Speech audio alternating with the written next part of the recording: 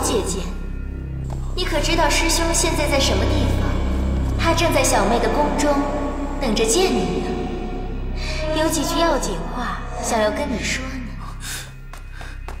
姥姥，他骗人，师傅他老人家早就已经先去了，你不要信。这个自然，这贱人使出传音搜魂大法，想惹我生气，逼我出去，我又怎会上他的当？对对对对对，师姐，你平日里不是最喜欢缠着师兄吗？怎的这时候又躲着不敢出来见他？也是，师兄不过念在同门一场，平日里多担待你一下，那是你自作多情，误以为他真对你有意，还心怀希望，可笑，可笑。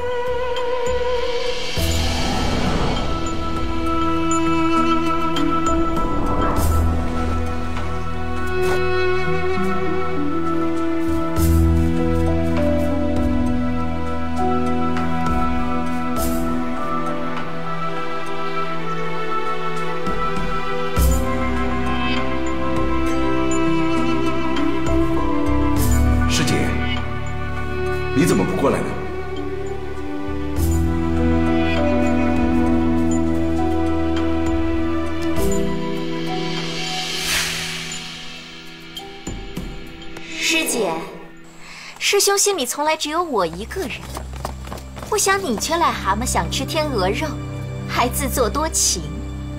你也不看看你那张脸，那个身体，师兄凭什么看得上你？一个永远都长不大的老女人，又凭什么与我争辉？师姐，你怎的都不说话呀？其实我挺羡慕你的。我们都是容颜弹指老，而你却永葆青春，也难怪你不肯出来跟师兄见面。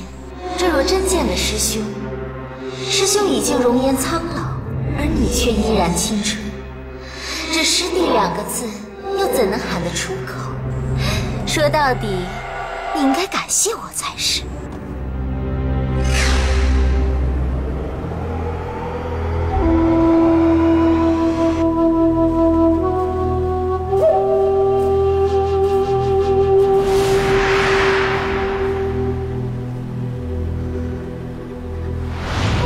秋水，你等等。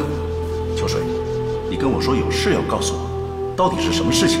还有，好好的不能在房里说，非要到这儿来呢？师兄，我们相处那么多年，我的心你还不明白吗？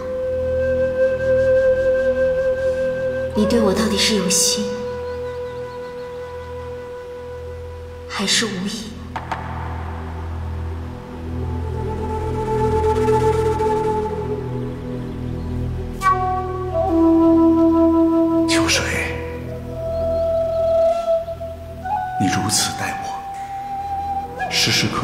陪伴在我的身边，你叫我如何不沉溺其中？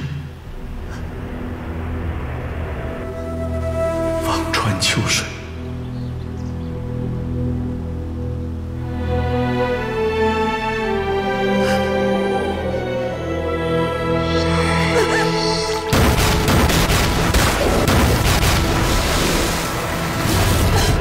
姥姥，姥姥，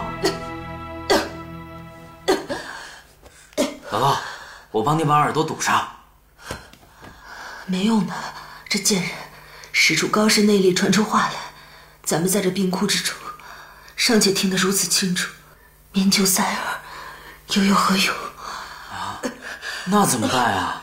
可是姥姥，您练功的时刻快到了，功德圆满的最后一次练功就是这一次了，事关重大，如果听到了这些言语，势必会分心的。这贱人使出坐魂大法，扰乱我心智，就算到了，我神功一成，他必不是我的对手。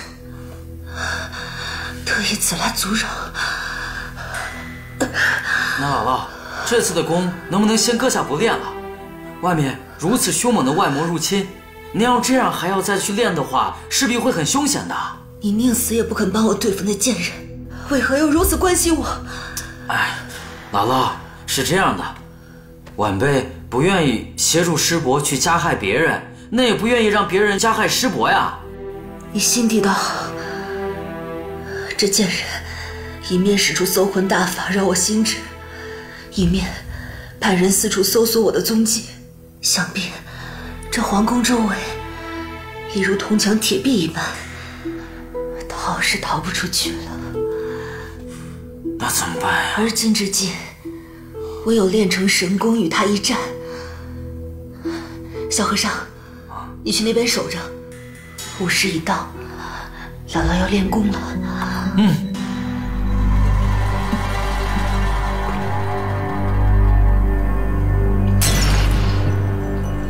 师姐，我跟师兄过了好一些快活日子。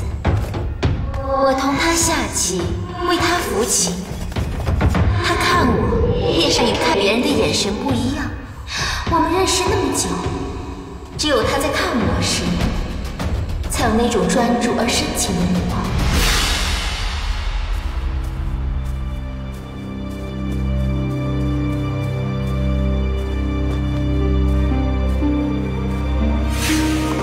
生了一个可爱的女儿，她长得很像师哥，也很像我。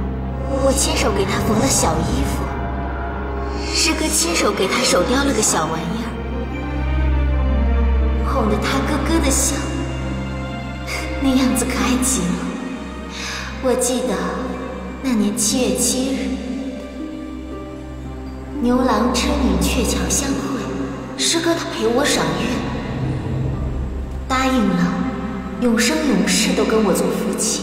师哥还给我画了一幅画，他说我的头发美极了，就像七夕晚上的月光一样，闪闪发亮。好师哥，我们一起度过这么多难忘的日子，我就知道你一定会回来找我。师哥，你答应跟我在一起一辈子，是也不是？好师哥。